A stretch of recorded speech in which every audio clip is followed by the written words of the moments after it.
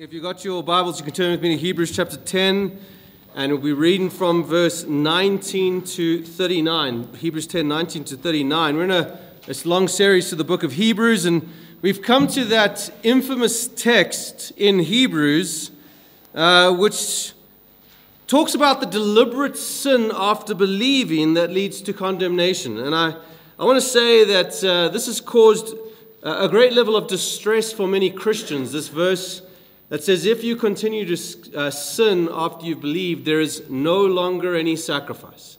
Uh, I remember actually when I first got saved, um, I was reading through the Bible at rapid paces, and I got to this verse, and it, it just it stuck me like in this in my tracks. It just completely stopped me uh, to read. Just if you continue to sin after you've believed, there's no hope. And it really has. It's caused a great deal, a great deal of problems and, and pain spiritually for many Christians in their life. And I want to encourage you this morning before we even start, we have to read this in light of the context of, it, of the whole book and in light of the gospel. And you will see there is great, great encouragement. There's encouragement, in fact, to just keep on believing. So, with that in mind, let's read Hebrews 10, verse 19 to 39. Therefore, brothers and sisters, since we have confidence to enter the most holy place by the blood of Jesus, by a new and living way opened for us through the curtain that is his body, and since we have a great uh, priest over the house of God, let us draw near to God with sincere hearts and with full assurance that faith brings, having our hearts sprinkled to cleanse us from a guilty conscience, and having our bodies washed with pure water. Let us hold unswervingly to the hope we profess, for he who promised is faithful. Let us consider how we may spur one another onwards towards love and good deeds, not giving up the meeting together as some are in the habit of doing, but encourage one another, and all the more as you see the day approaching. If we deliberately keep on sinning after we've received the knowledge of truth, no sacrifice for sinners left, but only fearful expectation of judgment and of raging fire that will consume the enemies of God. Anyone who rejected the law of Moses died without mercy on the testimony of two or three witnesses. How much more severely do you think someone deserves to be punished who has trampled the Son of God underfoot, who has treated as unholy the things, uh, uh, sorry, who has treated as unholy things the blood of the covenant that sanctified them, and who has insulted the Spirit of grace. For we know him who said, It is mine to avenge, and I will repay again. The Lord will judge his people. It is a dreadful thing to fall into the hands of the living God. Remember those early days when you had received the light, when you had endured the great conflict of, a, of full of suffering. Sometimes you were publicly exposed to insult and persecution. Other times you stood side by side those who were, uh, who were so treated. You suffered along with those in prison and joyfully accepted confiscation of your property because you knew that yourselves had a better and lasting possession. So do not throw away your confidence, it will be richly rewarded. You need to persevere so that when you have done the will of God, you will receive what He has promised. For in just a little while, he who is coming will come and will not delay, and by my righteous one will live by faith. And I take no pleasure in the one who shrinks back. But we do not uh, belong to those who shrink back and are destroyed, but to those who have faith and are saved. May the Lord bless the reading of his word this morning. Now, the writer of the book of Hebrews is actually summing up a, a, long argument in this chapter 10 that he started all the way in chapter 5. So it is a long kind of thought that has been running through. And I just want to say, if it seems a little bit repetitive since chapter 5, it's because of the beauty of the rhetoric of the writer of the book of Hebrews. In fact, the book of Hebrews is one of the most complex in all of the New Testament.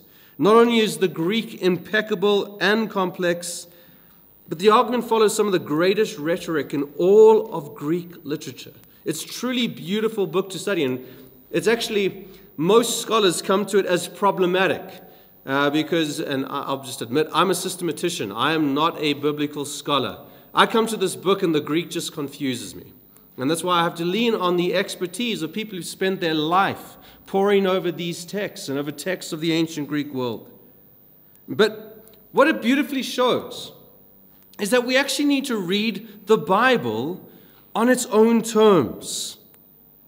You see, so many Christians today, especially in the 21st century, especially in like the explosion from about the 1990s onwards, Christianity took this weird kind of, I don't even know how to describe it, like a weird sidetrack when it came to reading the Bible, where we just take verses and read them as prose. You know, like I'll just pick a verse and this is my verse for the day. This is my verse for the year. You know, uh, this is what God is saying to me now. And I just want to say, unfortunately, us evangelicals are most guilty of this, and it becomes seriously dangerous. See, the Bible is a complex literary library consisting of poetry, wisdom, narrative, historical books, apocalyptic books, and letters. And if we fail to read it on its own terms, church, we fail to read it. We just fail to read it. There's a great story of a man who wanted to find out the will of God for his life. And so he opened up his Bible and happened to come to Matthew 27, verse 5, and he pushed his finger down, you know, closed his eyes, put his finger down, and read, he went away and hanged himself. And he's like, okay, well, no, wait, this is not what God is saying to me. So he opened up the Bible and flicked through again, closed his eyes, and put his finger down, and happened on Luke 10, verse 37, which said, Now go and do likewise. really not liking that answer, he flicked through a third time, closing his eyes, and still in the Gospels, he was now worried. He's like, let's stay with Jesus. And he put his finger down on John 13, verse 27, where it says, What you're about to do, do quickly.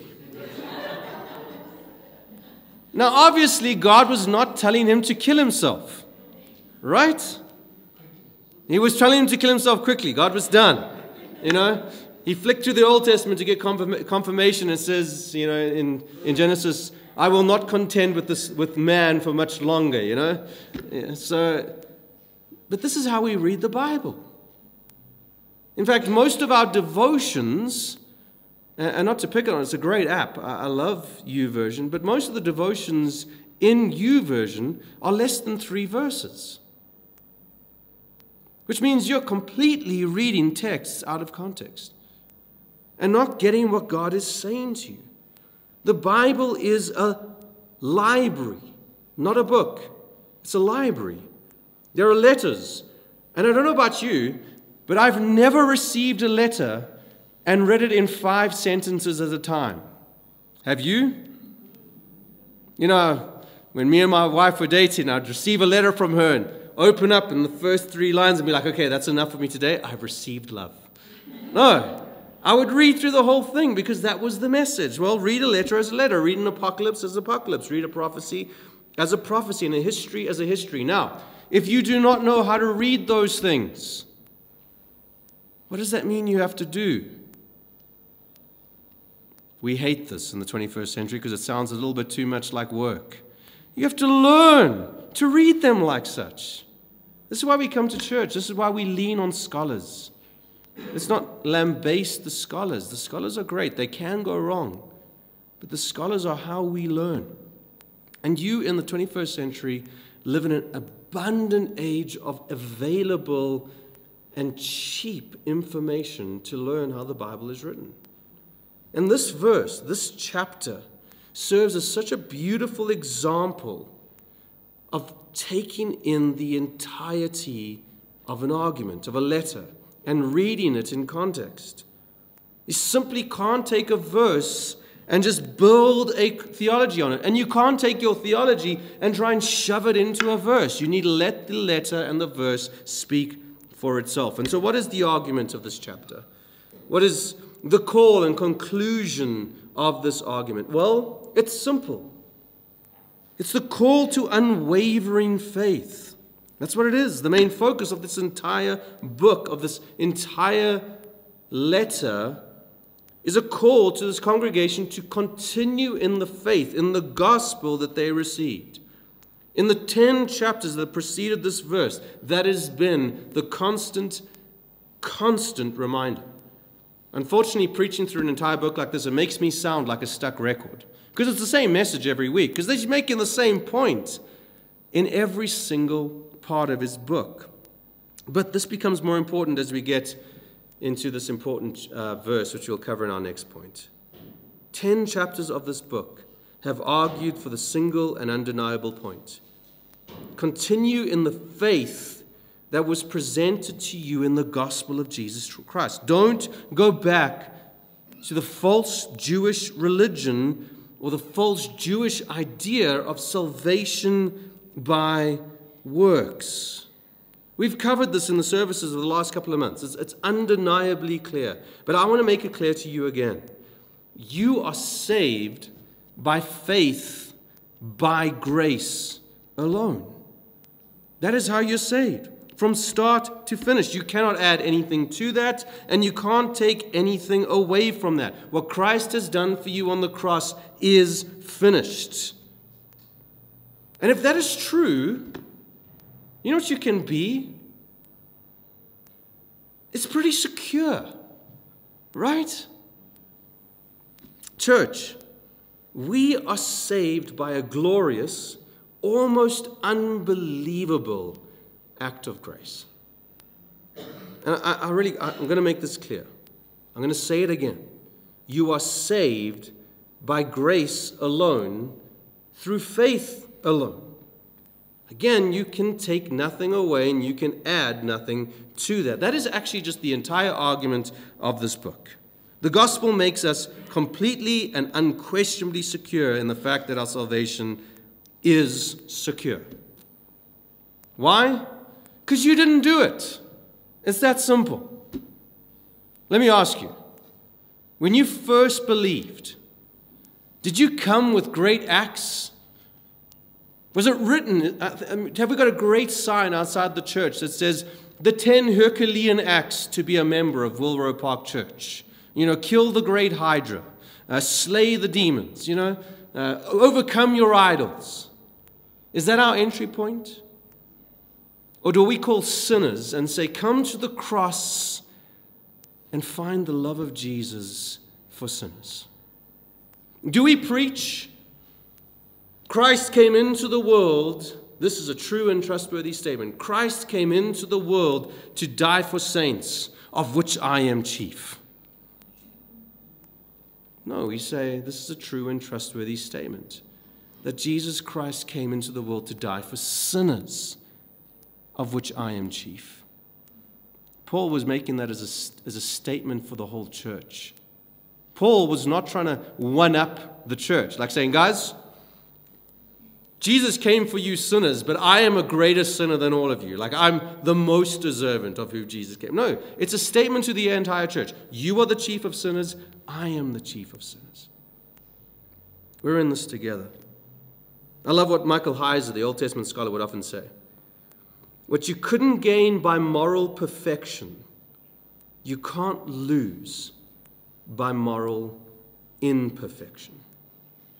That is a profound, profound realization. And I need to make this absolutely clear because we are constantly in danger of making lines in the church that says, you know what, these people are saved because, and these people are saved because of not. Right?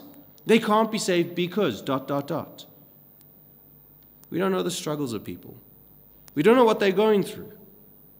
Tim Keller often tells the story of two people that got saved. One from a relatively religious family, Christian family, let's call it. They came, he gets saved, and his growth in the first couple of years is marginal because he's been brought up in the church, right? He knows the things. He's been reading his Bible since he was three. There's a small moral change. Yet someone walks in out of the street from a broken home. Language foul. Addicted to who knows how many things. Gets radically saved. How great a jump is the moral success in that person? It's going to seem like much more, right? As the Spirit moves in her, she's radically changed. The things that used to attract her and draw her in are suddenly no longer satisfying, and she wants to read the Bible more. Guess what? Although her growth is much more, she still seems like a far worse Christian than the person who grew up in a Christian home. It's just obvious. Yet who is more saved? Neither. They are both the chief of sinners. We have to make this clear because we are so in danger of perverting the argument here. And this opens up our second point the danger of continual disobedience. Let's ask a, a, question this morning of this text, of this entire book. What is this danger of disobedience? What is, let's ask, what is the tension of this entire book? What is this sin, this continued sin that the writer is talking about here? Is this, let's just ask a question because it's been used. Is this skipping church? Is this swearing in your car when someone cuts you off? Is this lying? Is this cheating on your taxes? If you continually cheat on your, tra- your taxes after you've been saved, there is no salvation for you. Now, we could preach that, and in fact, I could preach that in such a way to really make you feel like a rubbish human being. And all I'd be doing is emotionally ma- manipulating you. Because that's not the argument of the text, is it? If you were to read this text in an entire sitting, in one sitting, and scholars who, who do this pore over this, they would see it's quite plain that the argument of this text is to continue in the faith. That is the text. That is the argument. And so the sin is quite simple. We'll get to it. I didn't say this because many people come to the plain meaning of this text, the plain meaning of this book, and because they were so possessed by either just the text themselves, the single line, or their theological understanding, their system, that they cannot read the text as what it is saying. And unfortunately, us Baptists are, are guilty of this. We are. We just are. And, and to justify this, I've said this before, but I'll say it again. I am a convicted and convinced Baptist. I didn't grow up in the Baptist church. I grew into the Baptist church. And I've studied for years and I've found that the heritage of the Baptist church, their distinctives, are the most faithful to Scripture when followed correctly. But Baptists are humans. We make mistakes. In fact, our theology is far from perfect. And a text like this exposes that. Because the text, it's painfully, unavoidably clear that the writer is commanding us to continue in the faith, to not slip away, to not fall away from belief. The entire book says this. And, and we, we struggle to accept this as Baptists because we accept almost a cartoonish, and I have to say that because I think the way that we preach once saved, always saved is a cartoonish version of the original writings of the Puritans. We read this once saved, always saved, so we get to a text like this and say, it can't be us. Because I, you know, I believe I, I can't continue sinning. So this, this text doesn't mean anything to me. Because once saved, always saved. That's not what the text is saying. But it's also not saying that my salvation depends on me, is it? It's saying my salvation depends on Christ, but I have to trust in Him. You see, put it simply, I am not the securer of my salvation anyway. Christ is from start to finish. He saves me, He totally saves me. That is the call of the gospel of Jesus Christ, that Christ saves me, that he came into the world to die for sinners. Therefore, what is my response? To believe. To keep on believing, to cling to the gospel. And that is the call of the book of Hebrews. That is this text. And this leads us to this famous verse that is so often abused by preachers. Verse 26. If we deliberately keep on sinning after we've received the knowledge of the truth, there is no sacrifice for sin left.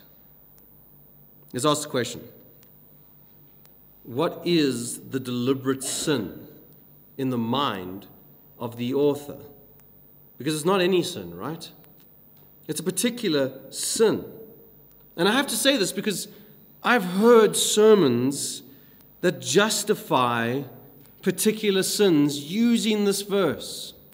I've seen people being kicked out of churches because they deliberately and continually continue in, sorry, the sin of arrogance. And then this verse is quoted. Actually, was in a meeting once like that, a church meeting, where someone was kicked out for the sin of arrogance. And I just looked at my wife and I was like, isn't that all of us? You know, I'm arrogant. Now, I've got that statement that goes, you know, it's not arrogance if he's just telling the truth. Uh, but, I mean, we all got a tendency to a little bit of self willfulness, right? No, but if you keep on sinning after receiving the truth, there is no salvation left for you. I've even heard stories of people who haven't been in the fellowship. This happens in smaller churches more You've missed, you've missed church too much. You are in danger of deliberately sinning after coming to knowing the truth. Church, that is perverse. It's an abuse of this text. The sin of this passage is simple it's abandoning Christ for self righteousness, for works righteousness. And this persists in the church more than you could possibly know. More than you could possibly know. The simple statement is that if you continue to sin, or you continue in the sin of thinking that you can save yourself by what you can do or how you can impress God, you're in trouble. You're in trouble. If your salvation, if you put your salvation in what you are able to achieve, you're in trouble. In fact, just this morning, I saw a, a, sermon clip of a very famous grace preacher. Let me just put it like that. He said, and this is the exact words if you want to know that you're a Christian, you need to have continued and visible and increasing righteousness in your life. That is how you know you are a Christian. Now that's that that preaches, right? That gets people okay, well then I know what to do this week. I'm going to I'm going to get myself more into the Bible. You can actually feel that church going, "Let's go." Church, that's an abuse. That is a result of what, how you know you are a Christian. It's a secondary to the primary. How do you know that you are a Christian? You believe the gospel of Jesus Christ, and the Spirit then confirms that in you by crying out, Abba, Father. That is the simple start. That is the primary. That is the focus. What is the result of that? You grow in Christ likeness not the other way around. You don't grow in Christ likeness and so know that you are a Christian. You know that you are a Christian because of what Christ has done for you, and that then grows you in Christ likeness. In fact, the other way is impossible. This is the funniest thing about being a human. I don't know if you've noticed this. Have you noticed that the harder you try to do something, the worse at it you become? You, you know? It seems like the most absurd thing. Who's ever tried to diet? Like, what a contradictory thing. You know, I'm not going to eat nice things. Why everything's nice. I'm going to cut out this thing. It becomes everywhere. Like you cut out carbs, and suddenly you've never noticed the smell of bread, and then you're like holding the bag to your face. The harder we try at something, the worse at it we become. In fact, Alan Watts, the, the famous um, almost guru of the 1950s and 60s, stumbled on this when he stated, The reason we want to be better is the reason we aren't. You know, tempted virtue ends in evil, was basically his argument. If you try and be good, you actually become evil in that goodness. Have you ever noticed that? Because you become manipulative, you become demanding, you become oppressive. Tried virtue is evil. In fact, this is where that famous statement goes The road to hell is paved with good intentions. Uh, as I often say, uh, on a side note, to someone who really just desperately wants their dogs to love them, I constantly say, remember, desperate is never attractive. Even dogs pick that up, right? The more you desperately want something, the harder it is that it becomes. In fact, you become repulsive. The more you try and avoid sin, the more it becomes everywhere, isn't it? becomes more prevalent. This is where the words of, of Paul in Romans is so, so real. How often have you got to the place, oh wretched man am I, who will rescue me from this body subject to death?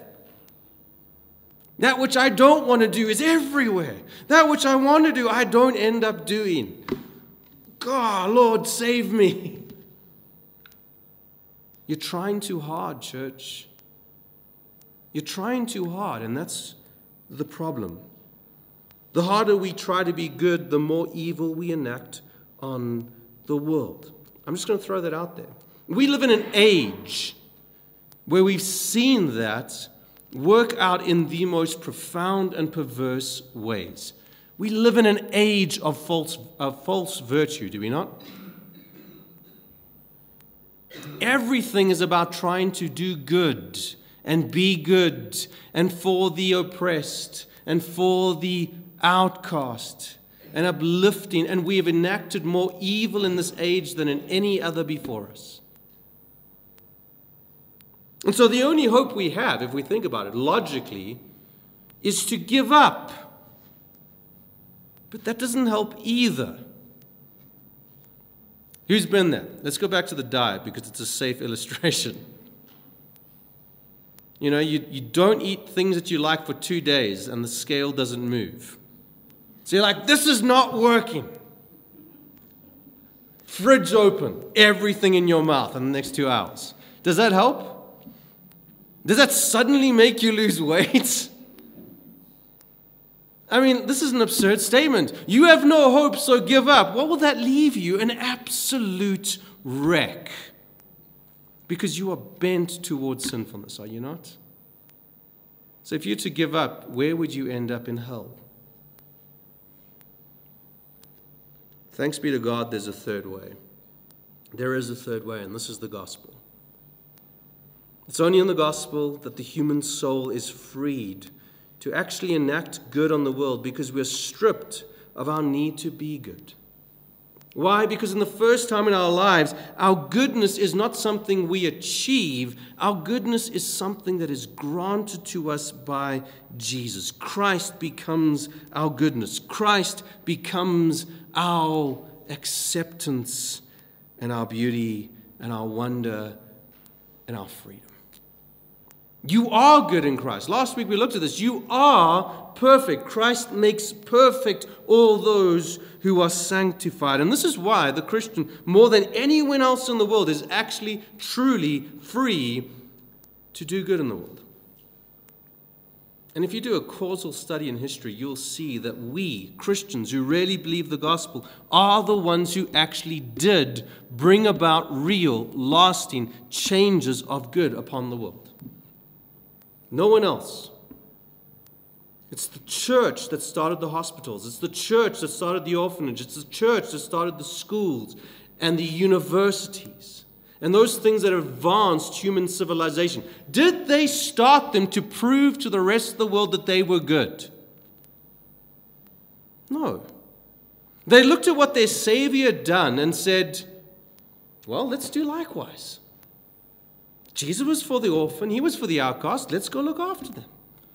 And the Romans were appalled. Justice, uh, not Justice, uh, Julius the Apostate, writing in the city of Delphi, is appalled. He says, You pagans do not even look after your own, yet these Christians are looking after the rubbishes of society. They're shaming us. Why were we looking after the rubbishes of society? So that we could prove to the Romans that we were better than them? Well, because we saw the rubbishes, the leftovers, the, the cast outs, and we saw ourselves in them and simply loved. This was not a project. It was not a way to win favor. It was not a way to garner and change the world. It was just there to do. And we were free to do it.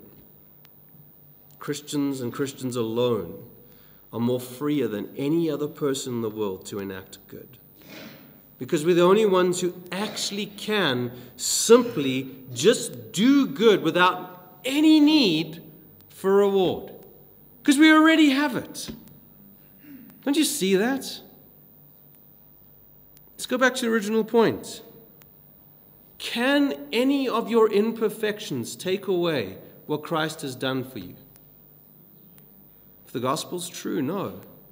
Can any of your moral virtues add to what Christ has done for you?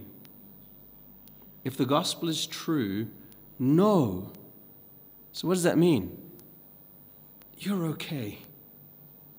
You're good in God's sight. Now go figure out how to live that out. Do it according to His leading, Good. do it according to His word. And that frees you. And that, that really, really frees you. Imagine just giving money to someone and really, really just doing it because you can. I've seen acts like this in this church. Where a person comes to me and they says, I do not want to be known. Make sure the person receiving this does have, has no clue where this is coming from. God has blessed me. I just want to bless them. I've seen insane acts like that in this church.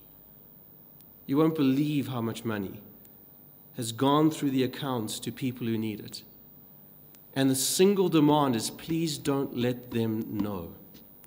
Why? Why would someone do that? Why would they hide themselves like that? Because they're okay. They don't need a pat on the back for that. They don't even need me, the pastor, to say, Yo, what a saint. They're free. They're really free. I've seen people work in the back. I've seen people serve each other. I've seen conversations that happen in the back of this church that no one will ever know. There's no pat on the back. There's no such a saint. Oh, God is going to pour his blessings upon you. Just a simple, Jesus has done this for me. I want to just serve people. That's the wonder. That's the wonder of the gospel. And you know what that really enables you to be? Is better. Not because you're trying, but because God already says you are. One of the most freeing things I've ever had is to think, why do this sin? It's stupid. Rather than, well, ah, the sin is taking me away from God. No. I've offended my Savior. Why would I do that? He loves me regardless. Why would I then run into the thing that offends him? Do you see the shift in mindset? Do you see the freedom? Do you see the lack of trying and the grace in that? See, church, I'm going to put this back to you. All this sounds somewhat, somewhat like a pipe dream. Right? It does sound a little bit like pie in the skyish, because guess what? You're going to do something tomorrow, you're going to feel bad about it, and what's the, the instant, absolute thought that's going to pop into your head? God doesn't love me anymore. Something bad's going to happen to you. What's going to be the instant, instinctive thought that pops into your head? I must have offended God. And so you might be saying to me, Pastor, what you're preaching sounds nice. but is impossible. I want to say back to you, rhetorical friend that is helping my sermon carry on, you are absolutely right. It is impossible. It's impossible. What I'm asking you to do is impossible. Your nature does not align with this. This is why Jesus said to his disciples, With man, this is impossible. But with God, all things are possible. And you know what you, you're actually doing when you think that this is impossible? You're leaning back onto self righteousness. I can't do this. I'm going to mess this up. And my answer to you is absolutely, you're going to mess this up. To quote a famous uh, preacher, if my salvation depended upon me, I would have lost it already. But it doesn't.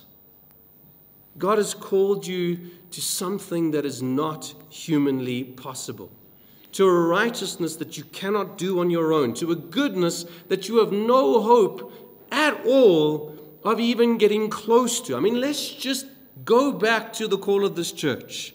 More people, more like Jesus. That is the most pipe dreamist, absurdist vision of any organization on the planet. We want to make a whole bunch of people that are the perfect human beings. We actually want to make more people perfect. Good luck with that. Good luck with that. Church, how, how well has this week been about you becoming more like Jesus? How perfect have you been this week? Have you hit the mark? Are we failing? Absolutely not. Because our dependency is not upon us becoming more like Jesus but about Him making Himself more and more prevalent in our lives. In Him doing it, not us. And that is why it's by faith. That is the wonder of it. That is the joy. That is the reward. That it is by faith that you are growing. Let me do an experiment in your life to close off this morning. Any one of you have walked the Christian road for a number of decades now. Do you feel right now like you've got it all together? Like you're just running from one victory to the next? That sin is far behind you and the, the chains thereof have fallen off and you are free? Do you feel like that? I felt like that for about a day after I got saved, and it's never been for me. In fact, the longer I get, the more I notice how deep the roots of sin goes, right? The longer I'm saved. And so in the moment I look and I'm like, Lord, I am worse than when you first saved me. Until for a second, for just a second, I stop and I look at 18 year old me. I look at 17 year old me before I was saved and I'm shocked at the growth that God has caused in my life. I'm shocked. You know what the wonder is? I can't put it down to a single thing that I did that has made that change. That's the beauty of grace. I've literally stumbled forward in this journey of faith and find myself where I am and the wonder of it, the, the glory of it, is I will stumble along with every single one of you here all the way to the very throne room of God in the life to come. And we will look back and we'll look at each other and think, what a wonder we've become. And not one of us will be able to say, well, it's when I did this that it changed. It's when I implemented this program. It's when I stopped eating carbs, you know? There's nothing to boast in. Day by day, church, we, we learn to live in the gospel reality that He has secured for you. It just, it's a stumbling. It's the wonder of the life we call to in Christ. It's the freedom of it. It's actually the whimsical nature of the gospel. Isn't it whimsical that God has called someone like you to be like him? I think it is. I think it's a big joke that he's called someone like me to be like him. It's amazing.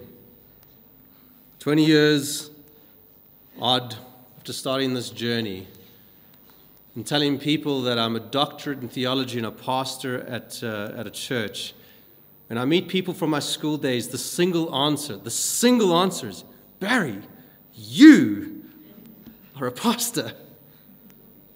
Thanks be to God. Thanks be to God. So, church, are you in danger of committing the unforgivable sin? Only if you think that your salvation is up to you. If not, stumble forward towards the throne. Whimsically discover the beauty and the wonder and the freedom that God has truly called for you, called you to, sorry. Let's pray.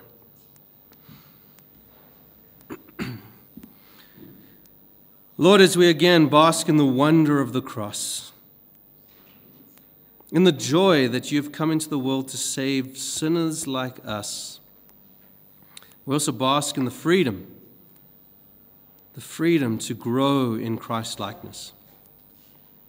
So, Lord, help us together to encourage each other to, to acts of love and good works, not to prove ourselves, not to one up ourselves, but because it's just good and you've made us good. Help us discover the freedom that we have in the gospel of Jesus Christ. And in light, in light of that, Lord, that we would, we would truly live a life worthy of who you are, a life worthy of what you're calling us to and what you have made us. And so we pray this to the glory of the Father and in Jesus' name. Amen. Won't you stand?